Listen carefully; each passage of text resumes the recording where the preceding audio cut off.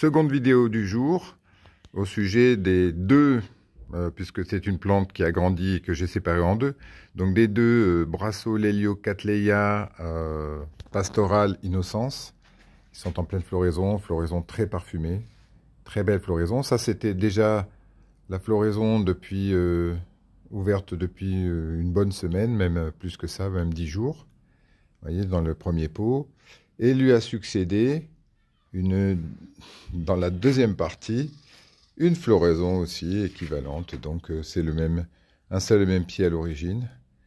Donc c'est ce Cattleya, Brassolelio Cattleya, Pastoral Innocence, avec un très léger euh, petit point pourpre, je ne sais pas si on le voit, sur le label.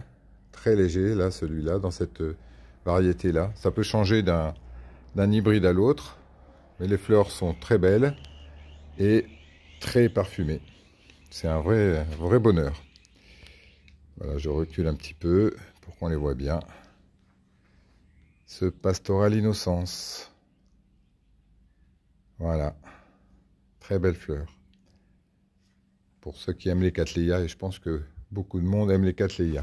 Je reviens sur les fleurs du début, sur laquelle je vais terminer cette courte vidéo. Voilà. Très belle fleur. Une forme parfaite. Merci.